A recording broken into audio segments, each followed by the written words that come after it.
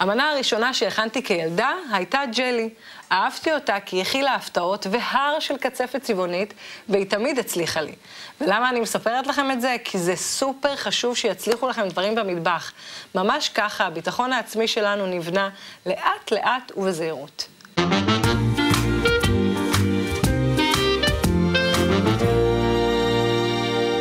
אז את הקינוח הביתי הזה, שהוא גם מאוד מרשים, אני מתחילה עם ג'לטין. עכשיו בואו תראו איך עובדים עם ג'לטין. 7 גרם של פירורי ג'לטין בתוך מים קרים, פשוט שמים במקרר כמה דקות, נותנים להם לנוח.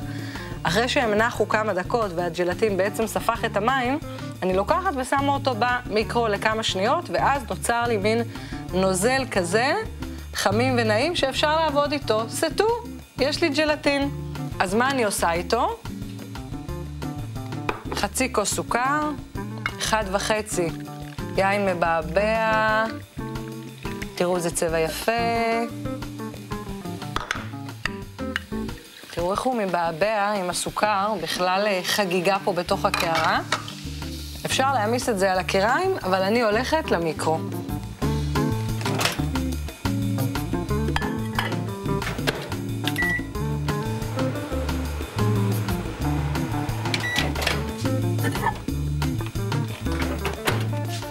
היין עם הסוכר חמים, הג'לטין חם, ואני עכשיו מערבבת ביניהם מיד. וזהו. אני אשפוך את זה לתוך תבנית שהכנתי עם ניילון נצמד.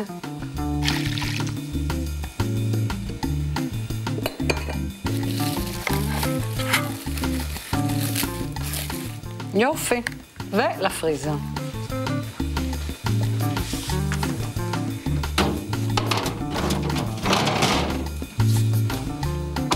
עכשיו, מוס לימון. קרם לימון, איך אנחנו עושים? בקלחת, מיץ לימון, סוכר, על האש, לרתיחה, ביחד עם גרדת לימון. במקביל, בקערה, יש לי פה ביצים, סוכר.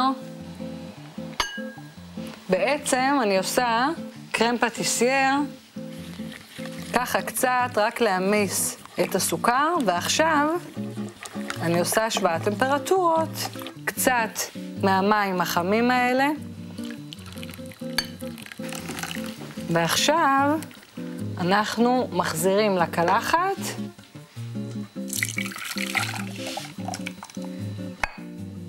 מבשלים עד לביאבוע קל, צריך כל הזמן לטרוף עד שנראה בועות קטנות. רואים? 1, 2, 3, ירד לתוך הקערה שלי, ומכאן, תראו, זה כבר הרבה יותר סמיך, זה ממש קרם.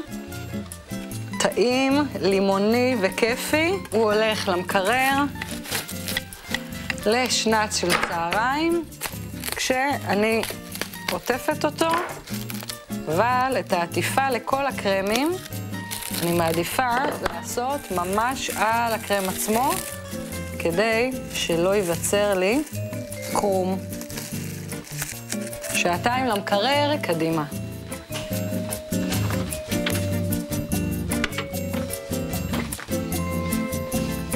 את הקרם הזה אני מתכוונת אה, להגיש עם טוויל. טוויל זה ופל כזה קטנצ'יק שאנחנו עכשיו עומדים להכין. איך מכינים? מיקסר עם מקצפה, חלבונים. במתכון הזה מקציפים חלבונים לבד, אוקיי? ממש שובר את כל הסטיגמות לגבי הקצפת חלבונים. אחרי שמקציפים את זה טוב, שמים את הסוכר ואת כל שאר החומרים. מפתיע? בואו נראה.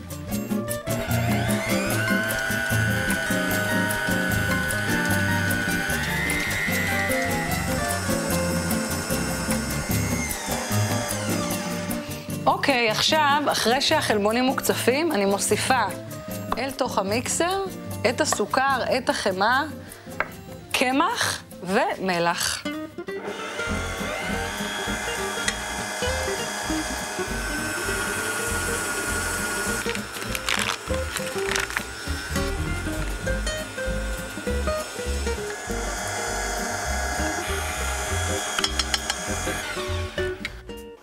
אני מרימה רגע כדי לראות שהקמח נטמע כמו שצריך, ואחרי שהוספתי גם את הקמח וגם את המלח, אני מוסיפה ממרח בטעם קרמל, שתי כפיות.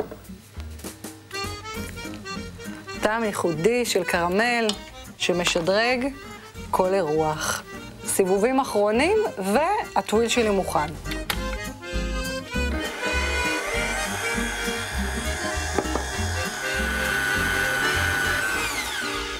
סטו, זהו, זו המסה שתהיה הוואפל, הטוויל שלי.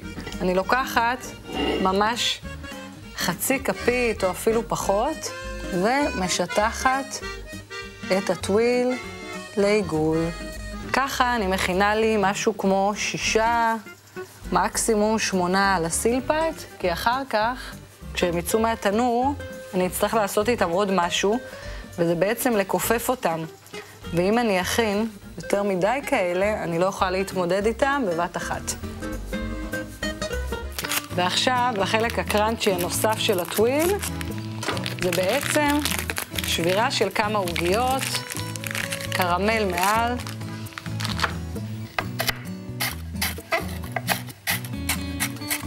סכין שף, איכותית, כיפית לעבודה. ועכשיו קראנצ'ים, 180 מעלות, 4-5 דקות.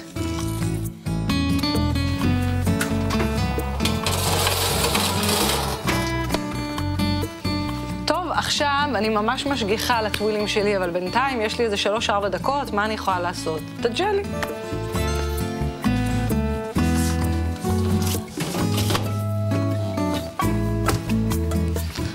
תראו איזה יופי, יש לי כאן ג'לי שהתייצב, מדהים. בואו נראה. אני מקלפת ממנו את הניילון הנצמד וחותכת אותו לקוביות קטנות. הג'לי יהיה בעצם הקישוט של המנה הזו.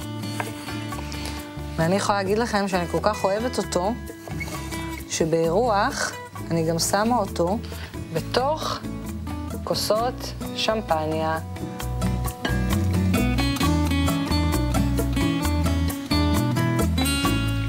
טוב, לטווילים שלי ייקח עוד איזה דקה.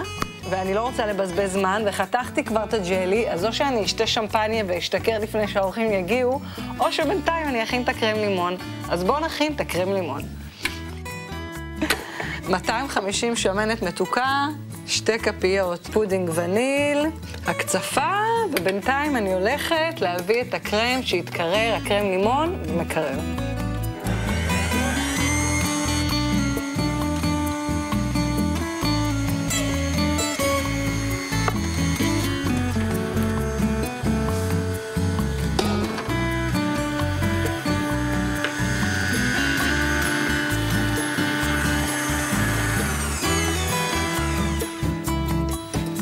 אוקיי, סגרתי את המיקסר, הקצפת שלי מוכנה.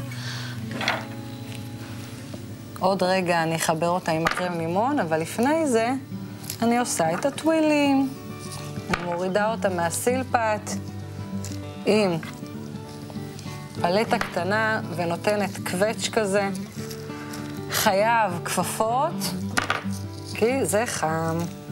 עכשיו אתם מבינים למה עשיתי שישה, שמונה ולא יותר? כי המהירות של העבודה מאוד קריטית בקטע הזה. את הקרם לימון אני אפתח קצת ידנית במטרפה, ככה לא יותר מדי. אני יכולה לחבר אותו עכשיו לתוך הקצפת. הקרם לימון, אם נאכל אותו ככה, הוא בעצם מאוד מאוד טעים, אבל מרוכז. והקצפת עם הפודינג גם נותנת לו אווריריות. אז עכשיו, שק זילוף, נזלף את הקרם.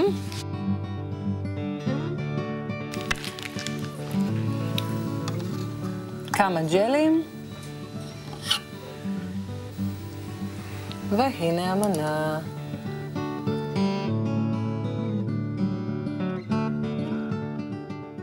הטווילים שלי מוכנים, יפהפיים, נראים כמו יהלומים קטנים, גם טעימים, גם יפים.